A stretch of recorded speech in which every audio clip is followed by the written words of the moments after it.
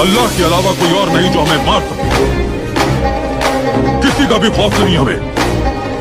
ना तो हम गुस्से हैं, ना ही हम झुकने वाले हैं।